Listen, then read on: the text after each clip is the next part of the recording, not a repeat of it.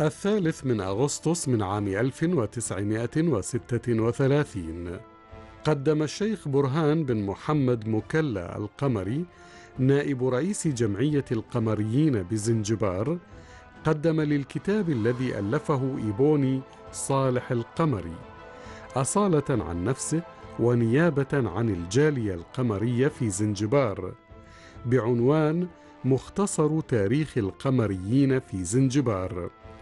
بمناسبة اليوبيل الفضي للسلطان خليفة بن حارب البوسعيدي.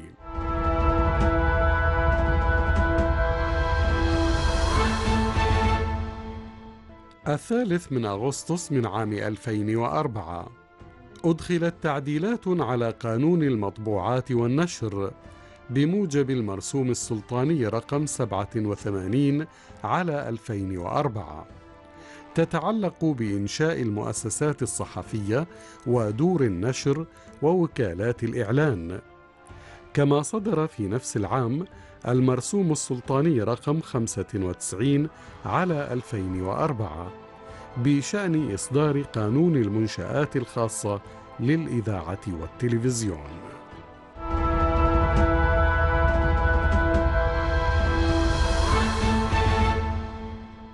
الثالث من أغسطس من عام 2005 احتفلت سفينة البحرية السلطانية العمانية شباب عمان بحصولها على كأس الصداقة الدولية للمرة الرابعة على التوالي في إطار مشاركتها في السباق الدولي للسفن الشراعية بالنرويج.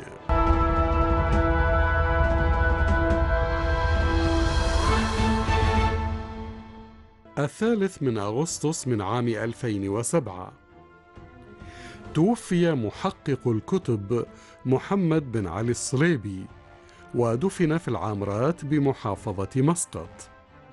ولد في يافا بفلسطين في التاسع عشر من أكتوبر عام 39 ونزح إلى نابلس سنة 1948 ثم إلى الأردن سنة 66 جاء إلى عمان للتدريس سنة 1977 ثم عمل في جريدة عمان وأسس ملحق عمان الثقافي وأعد بعض البرامج التلفزيونية. ثم انتقل للعمل في المنتدى الأدبي.